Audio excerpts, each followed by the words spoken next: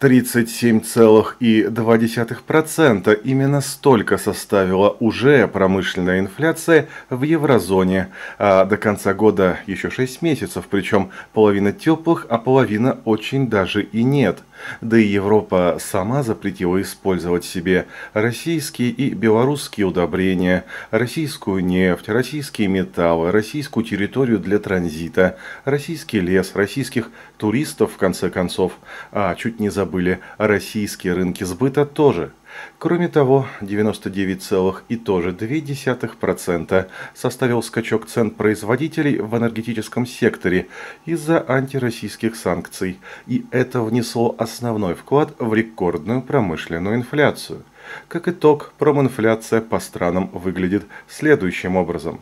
62% Ирландия, 62% Дания, почти 49% Эстония, 44% Италия, пока еще 33% Германия и совсем, если это можно так сказать скромно, почти 28% Франция, где желтые жилеты побегали, побегали, но все-таки решили, что дедушка Бриджит будет им новым президентом. Правда, есть один очень веселый нюанс. Промышленная инфляция через 3-6 месяцев, как правило, приводит к росту конечных потребительских цен. То есть хваленные немецкие автомобили взлетят в цене на 30% как минимум, но при этом, с учетом того, что Германия закрыла для себя российский авторынок, любители Мерседесов либо заплатят еще больше, либо просто забьют на этот всем известный шильдик. И кто без кого проживет, это еще большой вопрос, ведь туристический сектор хоть Италии, хоть Испании, хоть Парижа, куда запретил товарищ Барель ездить Путину и его друзьям, уже вопят от ужаса, ибо русские были хоть может быть и не такие продвинутые, как это принято считать, но такие богатые. И вот Сергей Лавров вышел к микрофону и в интервью боснийско-сербской телерадиокомпании сказал все, как оно есть.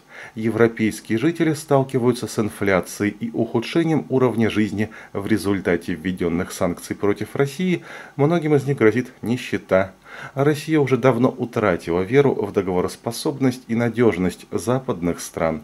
Короче, вы там держитесь, ведь это явно не конец истории. Дорогие друзья, в связи с отменой монетизации YouTube в России, вы теперь наша единственная надежда, что канал будет работать и дальше. Над проектом «Не конец истории» работают живые люди, которым нужна ваша поддержка. Всего лишь раз в месяц 50 рублей, а можно даже 100, позволит нам продолжать работать для вас, потому что нам это очень нравится, надеемся и вам тоже.